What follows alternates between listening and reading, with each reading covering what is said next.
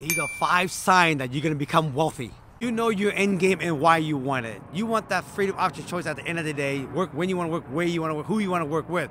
And in order for you to have that, you gotta have so many rental property and so much passive income. You take massive action and you're consistent about it. On top of that, you take action that actually is aligned to your end game. You never stop learning. You live this mindset like me, constant and never ending improving. You don't stop improving in all aspects of your life, personal life and business life.